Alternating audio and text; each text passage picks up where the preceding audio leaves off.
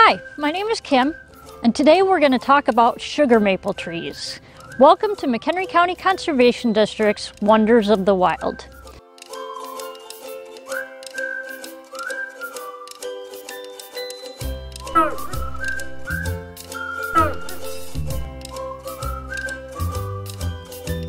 The sugar maple tree is known for a few different unique qualities. One of them is the brilliant orange fall color, and the other is the early springtime sap run. What do we get from the sap run? Maple syrup. So in the spring, when the nights are still below freezing and the days are getting to be maybe 40 and sunny, that's when the sap begins to flow up and down the tree. It's at that point that we can tap the tree. What that means is that we're drilling a hole into the tree and putting a small spile in to collect the sap. Now we're not hurting the tree because we only tap mature trees.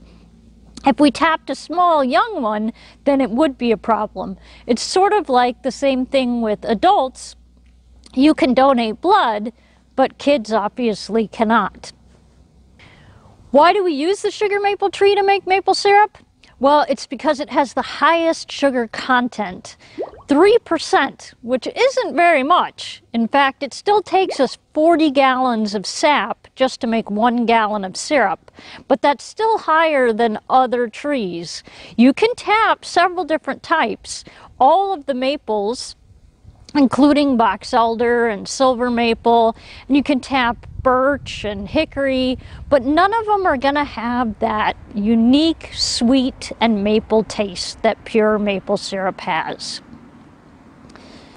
What we have to do to actually make the maple syrup once we've collected the sap is we take it back to our sugar house or our evaporator house and we have a large piece of equipment called an evaporator.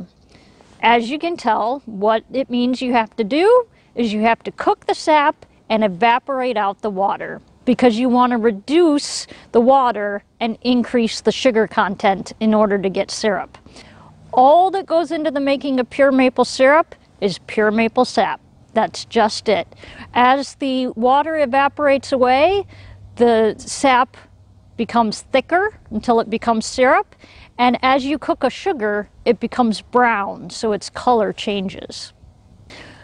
We're not really totally sure how the uh, Native Americans in this area first discovered how to make maple syrup, but we do know that this area was used for maple syrup for hundreds and hundreds of years. Early, early Native Americans may have used a hollowed out log where they would put sap in and then have to transfer rocks from a hot fire over. Later, once they had copper and ceramic earthenware, they could put the sap directly into the fire. But it was the pioneers who brought iron, which was the strong metal that could make very specific tools. And that's where we get our drill. That's where they got iron kettles that they could put over the fire, huge, huge iron kettles that can be raised and lowered over the fire. And so the process has gotten a little bit easier through the years, but it's still that same process.